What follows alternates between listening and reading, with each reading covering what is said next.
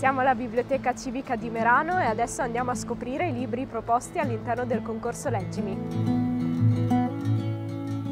La storia di Marco Balzano quando tornerò è una storia di personaggi vinti, di personaggi non protagonisti che magari vivono accanto a noi.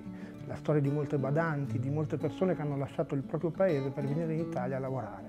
Una storia che è un esempio della vita di oggi. Partiamo dall'inizio. Quel mattino ci siamo svegliati come al solito alle 6 e ci siamo messi a cercare Moma per tutta la casa.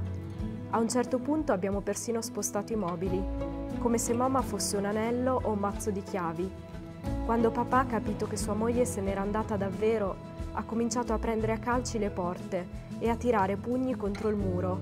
Io invece sono uscito sul pergolato, gridavo così forte il suo nome che dopo un po' anche mio padre mi ha ordinato di piantarla.